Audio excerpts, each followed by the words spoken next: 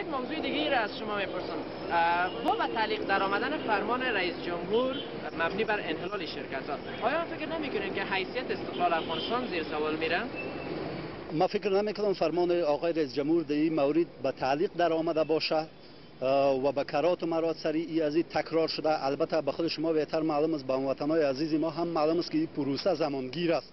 آنان نمیشه که با, با وجود صدور فرمان آنان و فورا یک اجرات معجزه آسا در قبال این امر صورت بگیره. مسلما زمانگیر است یک زمان یک میادی را کار داره و به تدریج آغاز شده. این پروسه در گوشه و کنار آغاز شده یک بخشی از شرکت ها منحل شدن و باقی این پروسه جریان داره که ما امیدوار بایستیم که تا میاد خاصی را که دولت برش در نظر گرفته این پروسه نهایی شد و تکمیل شد سایر شرکت ها که باقی مانده اینها منحل شود این خوب واقعی است؟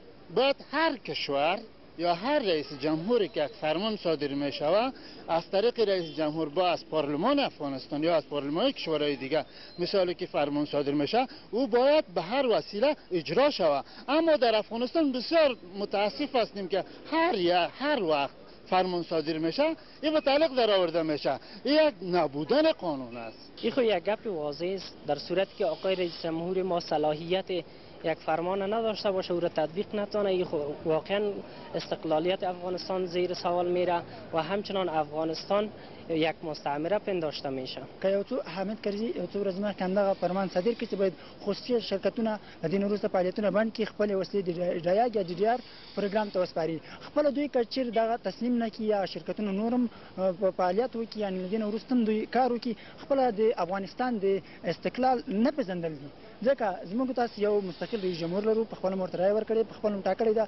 او دی په خپله د داخل د افغانستان کې دی هر څه کولی شي. هر رقم ته فرمان صادرولی شي. داسې دوست فرمان صادر که څوک ورباندې عمل نه کړي خو استقلال د افغانستان نسنو خب به نظر ما فشار جامعه جهانی فوق العاده بالای موضوع بیشتر است بالای رئیس جمهور بالای حکومت افغانستان. خب چون رئیس جمهور افغانستان است و حکومت افغانستان مجموع می تصمیم گرفتن باید تصمیم عملی شود. اگر میشه نمیشه این باز میبانیم قضاوت با وقت که آینده چی میشه متاسفانه استقلال که گفته نمی‌تونیم که استقلال افغانستان زیر سوال میره ولی حیثیت گفته می‌تونیم که حیثیت یا اتوریته دولت افغانستان زیر سوال میره. بسیار خوب است که دولت افغانستان جناب رئیس جمهور در تصامیمی که می‌گیره قبل از اینکه تصامیم ابلاغ میشه و اعلام میشه جدی فکر بکنه. اگر مشورت های لازم هست مشورت های لازم صورت بگیره با طرف های زی داخل حالا جامعه بین در افغانستان به عنوان یک بخش مهمی از قضیه که در مسئله امنیت افغانستان داخل هست حتی می‌تونه با آنها مشورت صورت بگیره. اما وقتی که یک مسئله اعلام میشه و در حد فرمان میآید در آن صورت عقب نشینی از یک موضع اعلام شده و به تعلیق در آمدن یک فرمان به قول شما اینا می‌تونه اتوریته دولت را زیر سوال ببره. بهتر بود که بهتر هست که دولت افغانستان وقتی یک تصمیم می‌گیره پای از تصمیم خود بیسته. خب یک مسئله هست. من امیدوار هستم که مشاوره که جناب رئیس جمهور مشوره که برای جناب رئیس جمهور دادن برای مبنی بر لغو کمپانی امنیتی مشوره خوبی بود. ولی مکانیزم دقیقی را که در این مدت زمانی که جناب رئیس جمهور فرمان داد آیا عملی بود یا نبود؟ بنان ما فکر تنها در مدت زمانی ازی یک نوع اختلاف وجود داشته. ولی ما متوسیم به هر حال که جناب رئیس جمهور اعلان کرده که منحل شود ما امیدوار هستیم که در آخر مرجع باید اینا منحل شود و اگر منحل نشود از یک طرف مشروعیت و صلاحیت و صلابت دولت افغانستان زیر سوال میره و از جانب دیگه بالاخره علوم خودسری ایران پیدا خواهد کرد. با توجه به اینکه شرکت های امنیتی معمولا آنچه که هزینه می‌کنن از خارج از افغانستان دریافت می‌کنن.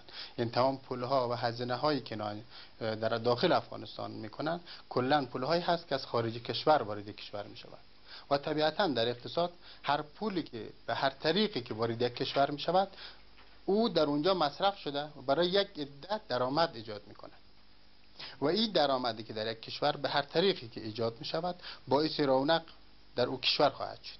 و زمینه فعالیت های دیگری را در اون کشور با توجه به اون مکانیزمی که در اقتصاد وجود داره باعث خواهد شد. و لذا ما وقتی بحث شرکت های امنیتی در اقتصاد مطرح می‌کنیم ببینید این دو تا شاخه خواهد داشت. یک طرف این که پولی که خود شرکت های امنیتی بابت استخدام نیروهای داخلی انجام میدن یک هر ماه یک مبلغی را باید به عنوان دستمزد به اون افرادی که استخدام کرده پرداخت کنند. شما توجه کنید اون چی که ما می‌دونیم چیزی تقریبا دوروبر چیزی در حدود 20 20 یا 21 هزار نیروی این شرکت ها از داخل کشور تامین می شود و هر فردی که وارد این سیستم می شود و وارد این شرکت امنیتی می شود مسلما یک مود و حقوقی را دریافت خواهد کرد. پس یک درآمدی برای یک فرد و یک خانواده ایجاد می شود نبود این شرکت باعث می شود که درآمد این افراد به هر طریق قطع شود. گپ اصلی است که واقعتش اینه که آیا بعد از این که خب ادعای رئیس جمهور محترم اینه که ما به اون اقتدار امنیتی رسیدیم به اون اقتدار دست پیدا کردیم که بتونیم راه ها را تامین بکنیم امنیت راه ها تامین بکنیم. اگر این گپ صحت داشته باشد و منم معتقدم که الحمدلله پلیس ملی الان چه امنیت و پلیس و اردوی ملی می‌تونه امنیت رو بگیره. و این راه ها از امنیت خاص برخوردار باشه و مخالفین رو سرکوب بکنه. خب نتیجه از این میشه که اونا بعد بعد از بعد از چند مدت می‌بینن که افغانستان اگر این شرکت های امنیتی باشه هم ما همی تجارت می‌کردیم حالا که این شرکت ها حل شده باز دوباره ما همی تجارت می‌تونیم. پس در نتیجه اونا به دولت افغانستان باور پیدا می‌کنن و همین روند ادامه پیدا می‌کنه. بعد مفادی که در اینجا به دست ما میاد که مثلا اسلحه ها جمع میشه خرید فروش اسلحه در اینجا بالاخره کم میشه.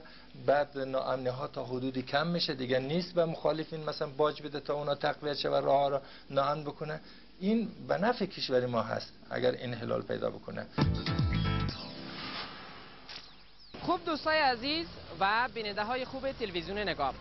گزارش را که در رابطه با موجودیت شرکت های امنیتی خصوصی برتان تهیه کردیم شما هم دیدین نظریات مردم را در رابطه با فعالیت این شرکت ها و موجودیت شرکت ها شما دیدین و همچنان نظریات از کارشناس های مربوط را هم شما دیدین. و چی فکر می‌کنین؟ قضاوت بعد دست شما. خب ایزا رسیدیم در پایان یکی دیگر از برنامه فوکس. اما ایزا قبل از اینکه خدافزی بکنیم خوب است که شماره تماس برنامه را برتان یک بار دیگر تکرار بکنم.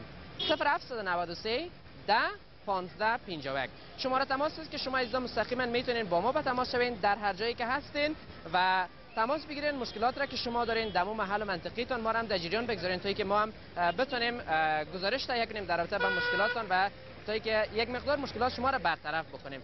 و همچنین اعضای بیننده کلیپ ها و تصاویر که شما مخفیانه تصویر برداری کردین و او کلیپ ها می‌تونه حقایق را برملا بسازه. چه خوب است که با ما به تماس شوید و ما هم بتونیم که از طریق رسانه خود او کلیپ ها را به نشر برسانیم تا که مسئولین متوجه شود تا که تخلفات بیشتر از این صورت نگیره به هر حال اعضای بیننده ای بود برنامه شب فوکس که تقدیم حضورتان شد. تا برنامه بعد خداوند یار و نگهدارتان.